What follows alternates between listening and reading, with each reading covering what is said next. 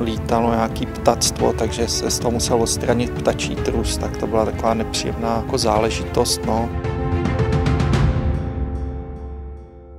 V té nice za obrazem se nám objevil žebřík, který tam teda těch 200 let byl.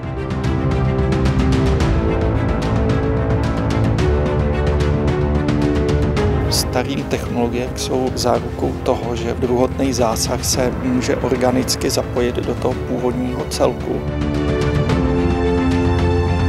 Varhany jsme převzali v dost zuboženém stavu. V podstatě se dá říct, že se na nich někdo pěkně vyřádil.